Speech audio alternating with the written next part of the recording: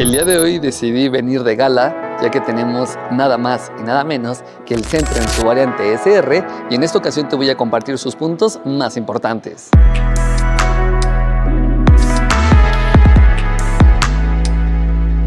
Y bien, para empezar, hablemos del diseño. Sin duda alguna, el Sentra tiene un legado muy importante para Nissan. En este caso encontramos un frente muy llamativo, agresivo, con estas líneas muy marcadas que le dan cierto carácter deportivo y tenemos una enorme parrilla con algunos elementos en cromo que hacen que los faros se vean mucho más grandes y por supuesto tenemos configuración LED. También algo que me ha encantado es que tenemos el emblema SR de este lado en rojito, eso también le da cierta personalidad y si pasamos con los laterales tendremos rines de aluminio bitono de 18 pulgadas que también le quedaron perfectamente. En la parte de arriba tenemos toda esta configuración en negro, de verdad me encanta, es un coche muy bonito y que en cualquier lado que lo lleves lo van a voltear a ver.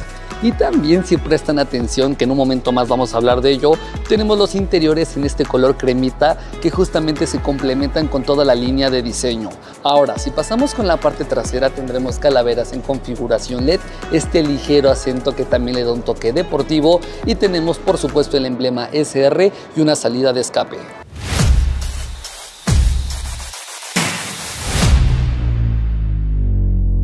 Respecto a los interiores, como pueden ver, es de lo más llamativo y bonito del coche. Tenemos piel genuina justamente en este tono cremita que llama bastante la atención. Para empezar, lo que encontraremos será una pantalla de 8 pulgadas compatible con Android Auto y Apple CarPlay de manera alámbrica. También tendremos un clúster de instrumentos híbrido con una pequeña pantalla TFT de 7 pulgadas. El volante estará forrado, por supuesto, con diferentes controles para las asistencias y también para la multimedia. Tenemos unas pequeñas paletitas de cambios que también le dan cierta línea deportiva y en la parte de abajo tendremos el control de aire acondicionado de doble zona, automático claro que sí y en la parte de abajo lamentablemente no tendremos carga inalámbrica, únicamente tenemos puertos USB y puertos convencionales. También tenemos excelente espacio para guardar quizá una botella, algún libro y demás, portavasos. La verdad es que es un coche bastante cómodo, muy amplio y dentro de su segmento me parece difícil encontrar algún competidor directo por el precio que encontramos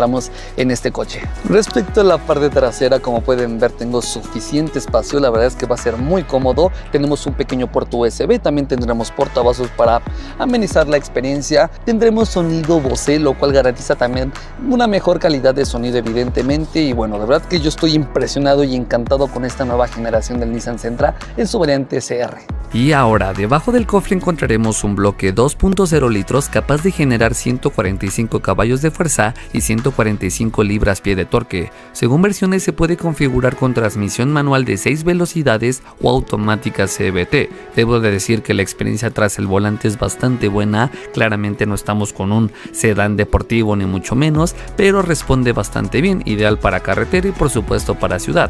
Entre los consumos que te estará dando aproximadamente combinado tendrás 17 a 18 kilómetros por litro, lo cual no me parece nada nada mal. Así que sin duda alguna este Nissan Sentra sigue manteniendo esa misma esencia que hemos visto durante mucho tiempo. Contaremos con toda la suite de asistencias a la conducción avanzada de la marca, mismas que incluyen freno autónomo de emergencia, monitor de punto ciego, mantenimiento de carril y control de velocidad de crucero adaptativo. Y por último en la seguridad tendremos 6 bolsas de aire, control dinámico vehicular, control de tracción, monitoreo de presión de llantas y mucho más. La verdad es que por esta parte sabemos que Nissan le pone de todo. Su precio empezará desde 404.900 pesos mexicanos y podrá llegar hasta 548.900 pesos. Pero bueno, aquí lo importante es saber tú qué opinas, si te lo comprarías, no te gustó, has tenido algún Centra, cuéntamelo todo. No olvides seguirme en todas mis redes sociales y esto ha sido todo por mi parte. Muchísimas gracias, hasta luego, bye.